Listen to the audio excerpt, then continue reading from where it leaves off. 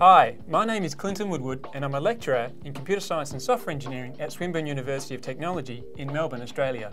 I started programming when I was in primary school because I wanted to write my own games.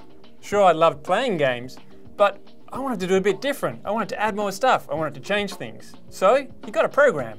I've done a lot of programming since then. Little programs, big programs, more games, large games, and I want to help you understand the concepts in game development. We'll begin by looking at game design, because when we're developing games, everything should be centered on that design.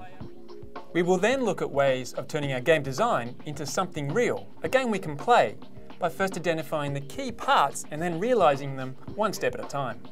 Finally, we'll look at one of my favourite topics, adding artificial intelligence to our games so that we can create richer and more interesting experiences for our player.